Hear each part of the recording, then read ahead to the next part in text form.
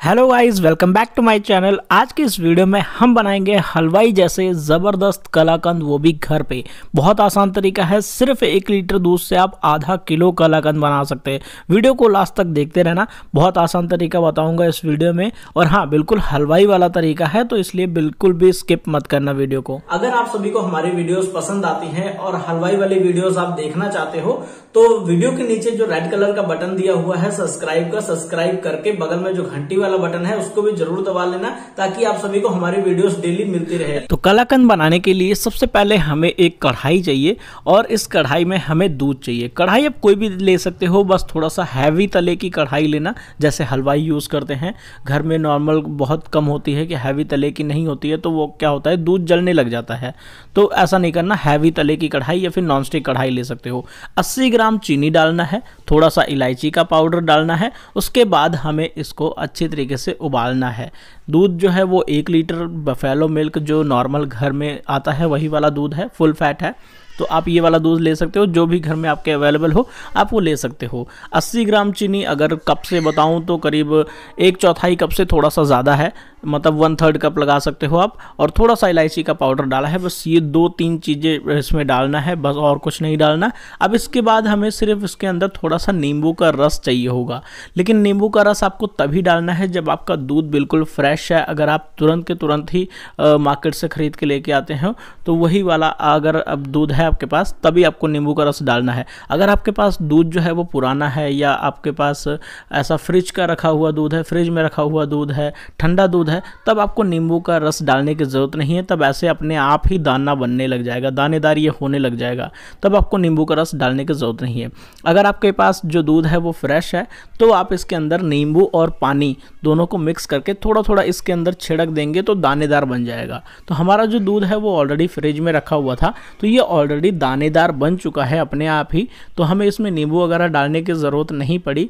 तो नींबू अगर आप तभी डालें जब आपको दानेदार पसंद है, दाना आप बनाना चाहते हैं या फ्रेश दूध है, तब आपको नींबू डालने की ज़रूरत है, न तो आप ना डालें। ये देखिए, न तो अपने आप ही ये हो जाता है दानेदार। जब ये करीब 10-15 मिनट हम इसको पकाएँगे, बिल्कुल अच्छी तरीके से उबालेंगे, तब ये इतना गाढ़ा हो जाएगा। तो जब ये ऐसे गाढ़ा हो जाए, तब आपको गैस का फ्लेम जो है, वो मीडियम पे कर लेना है मतलब कि हाई पे नहीं रखना है। स्टार्टिंग में 10-15 मिनट तो आपको हाई पे रखना है फ्लेम को, उसके बाद लो या फिर मीडियम पे कर लेना है। अब हमें इसे धीरे धीरे करके पकाना है। धीरे धीरे इसको हम पकने देते हैं। तब तक हम क्या करेंगे? कोई भी इस तरह की कोई बर्फ़ी वाली ट्रे हो, या फिर कोई थाली वगैरह हो, जिसे आप ऑयल से ग्रीस कर ले, जिसके अंदर आप बर्फ़ी को सेट करना चाहते हैं। ये देखिए, इस तरीके से ऑयल से थोड़ा सा ग्रीस करके रखेंगे, ताकि बाद में हम इसमें ईजिली तरीके से इसमें फैला सकें। ये देखिए, अब इसे हम पकाएँगे करीब चार से पाँच मिनट और तो ये और भी ज़्यादा दाने दाने जैसा दिखाई देने लग जाएगा। ये देखिए जैसे जैसे इसका पानी सूखता जाएगा, इसमें पानी की कमी होती जाएगी, ये दानेदार होता जाएगा। ये देखिए, इस तरीके से अच्छा अगर आपको कलाकंद जो है वो बिल्कुल सॉफ्ट पसंद है वाइट पसंद है बिल्कुल तो आप इस टाइम पे गैस को बंद कर सकते हैं और इसे फैला सकते हैं ट्रे में। तो ये बिल्कुल बहुत ज़्यादा सॉफ्ट रहेगा, जैसे हम चम्मच से खाते हैं ना, वैसा वाला कलाकंद रहेगा। अगर आप सोचते हो कि इसे बिल्कुल बर्फ़ी जैसे सेट करके, बर्फ़ी जैसे पीसेज में कट करके खाएँ तो आप इसे थोड़ा सा और पका लें ताकि जो हमारी बर्फ़ी जैसी कलाकंद है वो सेट हो सके। थोड़ा सा टाइट रखेंगे इसको तो बर्फ़ी की तरह सेट होगी। तो हमें इसे थोड़ा सा बर्फ़ी की तरह ही रखना है, इसको थोड़ा सा टाइट ही करेंगे। इसके अंदर मतलब पानी बहुत कम होना चाहिए, हल्का सा ही मॉइस्चर रहना चाहिए बाद में। ये देखिए, इस टाइम पे ये काफ़ी बढ़िया ठीक लग रहा है। इसमें थोड़ा सा हम घी डालेंगे। घी की वजह से क्या होगा कि ये जो हमारी बर्फ़ी है या फिर जो कलाकंद है, ये लॉन्ग टाइम तक सॉफ्ट रहेगा। इसे दस से पंद्रह दिन तक भी रखेंगे, तब भी ये ख़राब नहीं होगा। और टेस्ट भी काफ़ी ज़्यादा इंक्रीज़ हो जाएगा। अब ये देखिए, गैस को हमने कर दिया है बंद और ये काफ़ी ज़्यादा थिक हो चुका है। थोड़ा सा प्लेट में निकाल के देखेंगे और इसे ठंडा करके अपने फिंगर में इस तरीके से घुमाएँगे। अगर आपके फिंगर में ये नहीं चिपक रहा है तो इसका मतलब है कि ये बिल्कुल रेडी है सेट होने के लिए। हमारे फिंगर में ये बिल्कुल नहीं चिपक रहा तो इसका मतलब रेडी है। अब इसको हम उठा के अपने एक ट्रे में जो थाली हमने ग्रीस किया था या ट्रे जो भी है, बर्फ़ी वाली, उसके अंदर हम इसको अच्छे तरीके से फैला देंगे ताकि इसे हम सेट करने के लिए रख दें। अच्छा इसके ऊपर ऊपर आप ड्राई फ्रूट या चांदी का वर्क, जो भी आप इसके ऊपर लगाना चाहे, वो आप लगा सकते हैं।